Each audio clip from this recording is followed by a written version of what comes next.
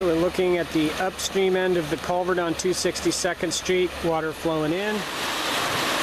We've got baffles in here, and we definitely see four to five backwaters from each culvert. I'm going to uh, baffle. I'm going to try to zoom in here,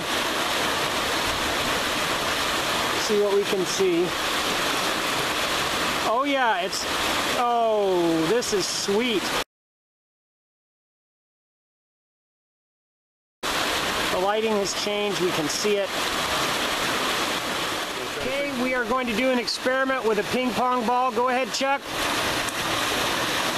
And there, okay, I'm gonna, the ping pong balls are caught. They're not go, oh, there goes one. There we go. Gonna follow it.